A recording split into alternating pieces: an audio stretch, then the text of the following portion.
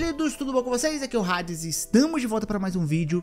Nesse vídeo eu quero trazer algumas atualizações aqui a respeito do Bloodborne. Uma notícia ruim, que é a Sony removendo conteúdos relacionados a Bloodborne no PC. Mas calma aí que tem um, uma coisinha, um motivo, né? Uma pequena justificativa ao redor disso. Não significa que ela vai estar banindo nada de mods e etc, tá?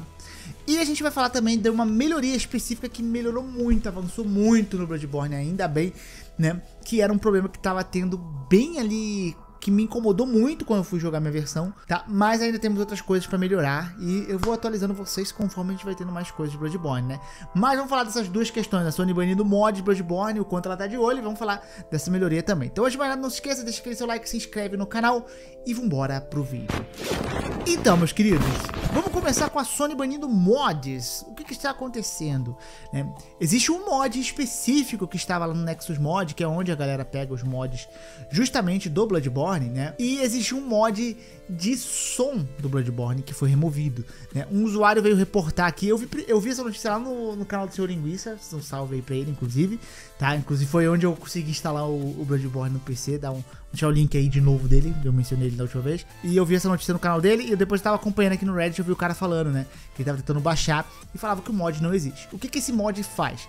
Esse mod basicamente ele volta o som do Bloodborne. Se você joga no emulador ali e a versão de 60 FPS, eu não sei se é de 30 tem esse problema também, mas a versão de 60 FPS ele não tem som, você não consegue jogar com som, sendo que você precisava instalar essa modificação para trazer de volta o som ali pro jogo, né? Senão fica tudo sem som e é, é, complicado, né? E, se a gente for ver, esse foi o único mod até agora banido pela Sony. Mas por que, que esse mod foi banido?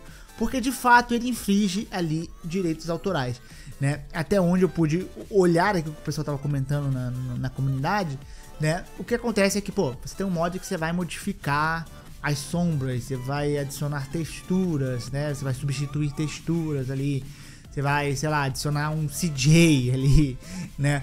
É, não são mods que infringem, quer dizer, o CJ pode infringir pra Rockstar, né? mas não infringe nada pra, pra, pro Bloodborne, né? Pra Sony, pra publisher do, do Bloodborne em si. É, só que este mod específico ele infligia porque ele voltava o som do jogo. Ele não era um fix para voltar o som. Ele era, acredito eu, até onde eu vi, tá? Posso estar errado. Mas, né? Ele era arquivos com áudios do Bloodborne. Então você tinha áudios de diálogo, você tinha áudios de som, você tinha áudios de música. E aqui são conteúdos de direitos autorais. Então o cara tava disponibilizando isso para você baixar, né? De, de uma forma algo que pertencia à Sony, essa modificação, tá? Então, a Sony viu uma brecha que aquilo ali dava para remover. Então eles removeram. Então não, não quer dizer que a Sony vai derrubar mods, a Sony não pode derrubar emuladores, não pode fazer nada disso, né? A não ser que tenha um caso bem específico como foi da Nintendo, né? Até onde a gente viu, não, não acontece isso com o emulador de PlayStation 4. Então, esse foi um caso específico. Só que isso traz uma mensagem pra gente. A gente vê que a Sony tá de olho nas emulações. A Sony tá de olho no que tá rolando. Porque ela removeu isso relativamente rápido. Porque não existe tanto tempo esse mod aqui. Então a Sony tá olhando o que está acontecendo e tá de olho nas movimentações das comunidades né, em relação a modificações de Bloodborne, tá? E isso não, não chega a ser preocupante, tá? Mas é um alerta que a Sony tá olhando, tá olhando. Isso a gente pode até ficar naquela campo da teoria, pô, será que a Sony tá de olho porque ela quer lançar o Bloodborne no PC e ela tá de olho tentando derrubar para poder, né, não deixar a galera ficar animadinha ali jogando no emulador, porque ela quer lançar uma versão no PC pra galera comprar. E isso não é a primeira vez que acontece. A gente tem o caso da Rockstar, que estava banindo modificações do GTA na época, porque ela iria lançar a versão dela, o Trilogy, aquela vergonha da Trilogy, né, no PC. Então ela removeu mods, removeu várias coisas ali com essa desculpa. Se eu não me engano, isso já aconteceu com o Mario Maker também. Eu acho que eles estavam removendo fases para lançar o Mario Maker 2. Esse daí eu não lembro 100%, mas eu acho que tinha algo nessa, nessa linha também. Então, isso não é a primeira vez que empresas fazem isso para remover, para em sequência adicionar o jogo original delas, né? Acaba com a comunidade e lança um negócio oficial e aí você tem que pagar. Pode ser, pode ser um cenário positivo a gente pensar assim. Eu acho não, tá? Não criem tantas expectativas aí, tá? Mas o fato é que a Sony pode estar simplesmente removendo porque está infringindo os direitos autorais dela. E a Sony, ela também remove conteúdos por direitos autorais, não no nível da Nintendo, mas ela também não é 100% santa nesse quesito. Até porque recentemente né, a gente teve o Bloodborne Kart, não sei se vocês vão lembrar. O Bloodborne Kart estava sendo feita por um fã, por uma fã, né? E ela chegou e falou que a Sony mandou remover ali o, o Bloodborne Kart, né? Alterar o Bloodborne Kart. Tanto que ela foi lá e lançou depois uma versão modificada de, do Bloodborne, que aí era meio que parodiado. Eles mudaram o nome, mudaram o negócio para não ficar igual, ficou meio paródia. Né? E aí a Sony liberou, mesmo sendo de graça, mandou ela tirar, o que foi bobeira, né? A galera inclusive especulou a mesma coisa. Será que a Sony mandou tirar porque vai fazer o Bloodborne PC, né? Até hoje nada. Então, a Sony tá removendo mods, mas são esse, esse mod específico. É mais o fato é que ela tá de olho sim no que tá acontecendo, nas movimentações que estão ocorrendo com Bloodborne na emulação de PlayStation 4, tá? E é isso, né? E vamos lá para uma coisa que melhoraram aqui no emulador. Infelizmente ainda não, pelo menos agora até onde eu tô gravando esse vídeo, ainda não houve correções do vazamento de memória, tá? O vazamento de memória Pra quem não sabe, é um, algo que tá acontecendo com Bloodborne na emulação do PlayStation 4 ainda, que ele vai vazando memória, que chega um momento, né, que o jogo cracha, o jogo trava, né? Inclusive, estava acontecendo muito comigo, eu não sei se era por causa do vazamento de memória, mas às vezes eu fazia um fast travel, eu morria, e que era necessário ter um load, meu jogo travava, eu tinha que reiniciar de novo. Esse é um problema que ainda tá assolando um tanto aí. Embora o jogo esteja zerável já do início ao fim, já tem pessoas zerando o jogo do início ao fim, ele ainda não tá 100%, requer que você instale muita modificação, né? Mas é isso que eu quero falar, inclusive, porque é uma modificação que melhora um problema que tava péssimo, né? Que era um negócio muito feio, tá? É, eu acho que era, era, o segundo maior incômodo, pelo menos, que, que eu vi depois do vazamento de memória.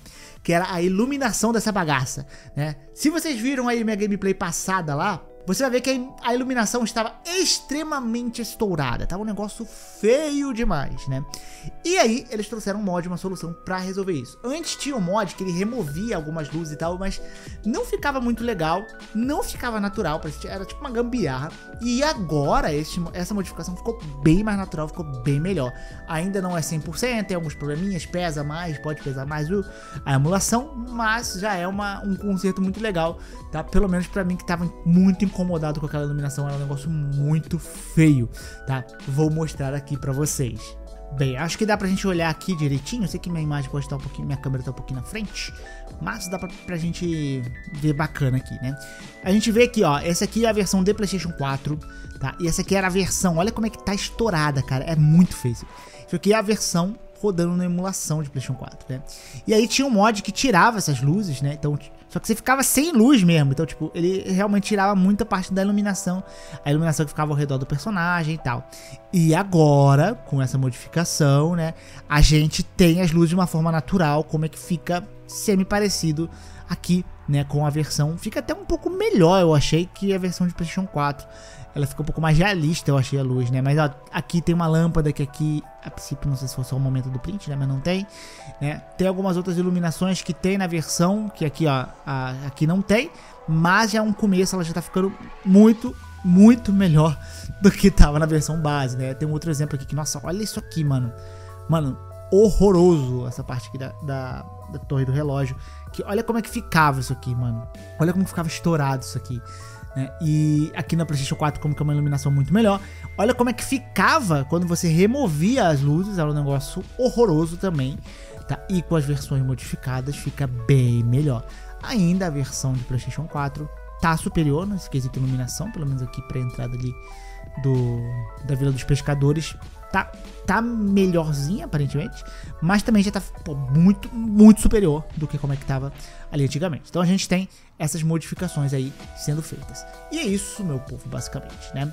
É isso que a gente tem sobre Bloodborne aí no momento, né?